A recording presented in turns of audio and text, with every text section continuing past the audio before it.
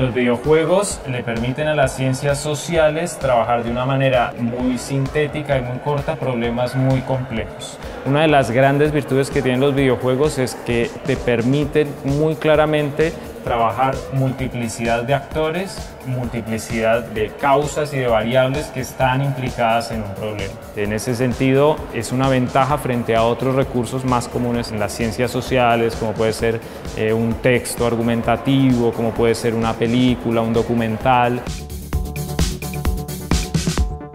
Trabajamos con migraciones y hay un juego, Borders, que lo jugamos y que está dentro de los recursos que trabajan los, los docentes en el curso.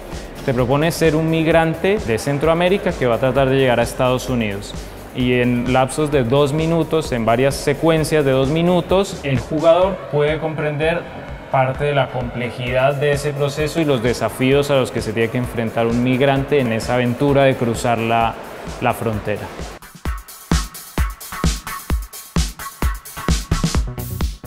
Los videojuegos tienen una característica fundamental y es que están construidos sobre una retórica de la acción. Este es un concepto que trabajamos en el seminario con los docentes y es que a diferencia de otros productos culturales, los videojuegos se enfocan en hacer cosas. Cuando vos estás jugando todo el tiempo, haces cosas. Y en ese sentido demanda a los, a los docentes aprender a leer esas acciones y eh, incorporarlas en lo que nosotros llamamos una matriz de análisis de los videojuegos que dicho muy sintéticamente, te permite comprender cómo el diseñador del videojuego construyó un modelo sobre una problemática que es objeto de, de ese videojuego.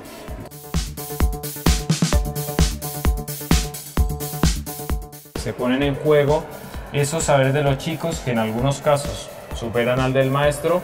Una consigna fundamental eh, en este trabajo y que lo, insistimos todo el tiempo en el, en el curso es si vas a enseñar con videojuegos tenés que jugar.